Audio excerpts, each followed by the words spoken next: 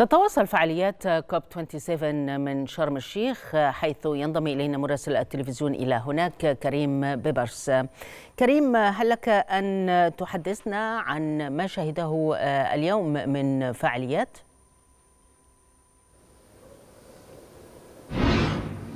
نعم تحياتي لكم وتحياتي لجميع السادة المشاهدين. بدأ اليوم اليوم فعالياته بالسمة الرئيسية لهذا اليوم وهي الطاقة والمجتمع المدني. وهم ملفان هامان جدا في التعامل مع التحديات والتغيرات المناخية التي يشهدها العالم أجمع. في حقيقة الأمر أن الطاقة كان لها ربما المجال الأوسع والأهم اليوم خصوصا أن التحول للطاقة الخضراء الخضراء والهيدروجين الأخضر كان هو ربما النقاش الرئيسي والأساسي في العديد من جلسات اليوم التي بدأت منذ صباح اليوم. وربما بعضا منها جلسات مغلقة ما زالت مستمرة حتى الآن للخروج بتوصيات وآراء متنوعة حول آليات تنفيذ هذه الآراء والتوصيات التي من المفترض أن تخرج من كوب 27 بدأ اليوم بجلسة هامة للتعامل مع الطاقة الخضراء والتحول للهيدروجين الأخضر. وأيضا كان هناك عدد من وزراء الطاقة ووزراء الكهرباء في يعني الذين جاءوا من الكثير من دول العالم سواء كانوا من الدول الأفريقية أو حتى من الاتحاد الأوروبي أو حتى من الولايات المتحدة الأمريكية تواجدوا في جلسات نقاشية مجمعة وجلسات أيضا نقاشية خاصة للتحول ودعم التحول الأخضر وفي الأساس الدعم المادي أو التمويل الخاص بالتحول الأخضر والتعامل بالهيدروجين الأخضر. هذه كانت نقطة هامة. وتحدثوا أيضا عن فكرة دعم الحكومة والحكومات المختلفة والقطاع الخاص لهذا التحول سواء كان للبلاد التي تأثرت بشكل سلبي في البلاد النامية أو حتى الدول الصناعية عن دعمها المادي لهذه الدول النامية. وأيضا تعويض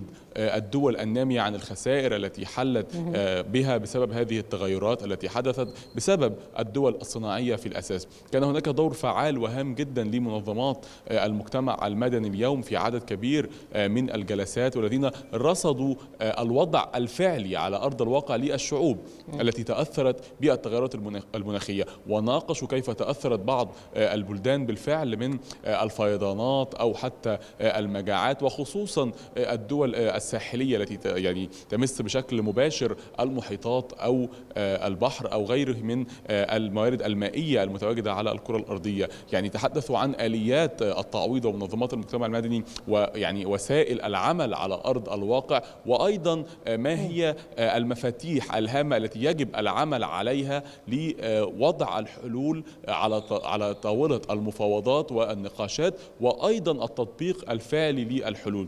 وبالطبع لتطبيق هذه الحلول كان هناك نقاش هام حول المئة مليار دولار الذي تعهدت بها الدول الصناعية في جلاسكو واتفاقية باريس وغيرها وأنها لم تطبق حتى الآن. ولكن من الجانب الآخر من الدول الصناعية تحدثوا عن بداية جديدة للتطبيق الفعلي خصوصا من كوب 27 من مصر وبدعم مصر كبير لهذا التوجه توجه التطبيق الفعلي بدأت بالولايات بالولايات المتحدة الأمريكية بدعم التحول الأخضر في عدة دول ومنها جمهورية مصر العربية وكان هناك أيضا حديث عن محطات الطاقة الشمسية على حدود المكسيك على سبيل المثال وبعض أيضا الاستثمارات في مدغشقر وعدد وعدد آخر وكبير من الدول وأيضا توأمات توائم ويعني اتفاق واتفاقيات مختلفة داخل الدول الأفريقية وأيضا بعض الدول الآسيوية للتحول الأخضر ونقل أيضا الخبرات في التحول الأخضر.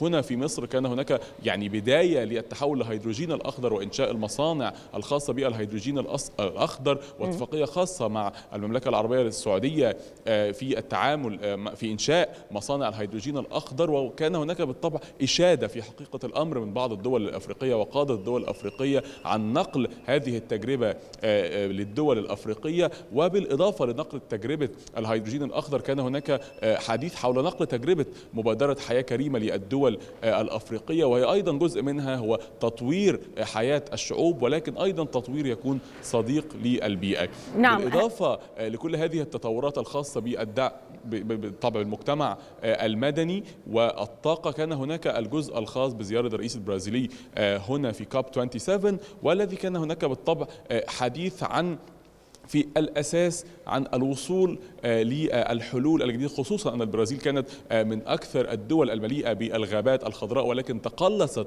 هذه المساحات بشكل كبير في الفترة السابقة مما أدى أيضا لزيادة كبيرة في الانبعاثات الكربونية وأثر بشكل مباشر على التغيرات المناخية. لذلك توجه جديد وتكاتف دولي لمساعدة البرازيل لعودة هذه الغابات أيضا وزيادة المساحة الخضراء مرة أخرى. نعم أسمع. هل من مبادرات خرجت من فعاليات هذا اليوم؟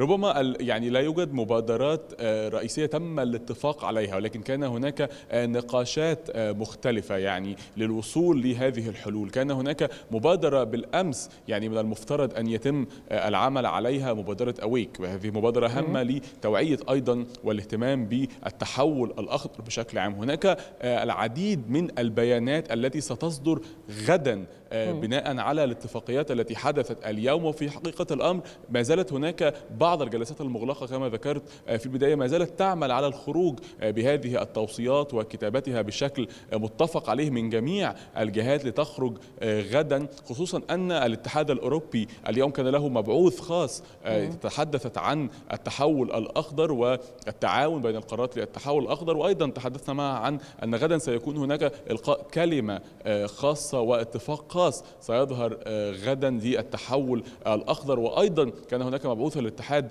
الإفريقي والتي تحدثت أيضا عن هذا الاتفاق الذي سيتم يعني عرضه غدا أو الإفصاح عنه غدا بالتعاون بين العديد من ممثلي نعم. دول القارات سواء القارة الإفريقية أو أو قارات الولايات المتحدة أو حتى الاتحاد الأوروبي. نعم مراسل التلفزيون المصري كريم بيبرس كنت معنا من مدينة شرم الشيخ شكرا جزيلا لك.